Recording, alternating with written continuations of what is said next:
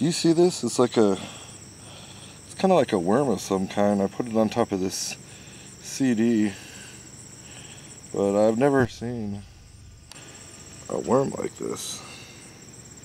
Or if it is a worm, or what kind of species it is. Does this thing molt and does it fly? What is it? It kind of like expands and gets bigger. What does it eat? Very strange. Comment below what you think this is. Is it a worm? Obviously it's a bug. But what does it do?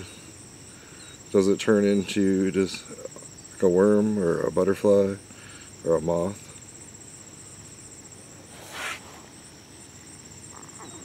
It kind of has a face.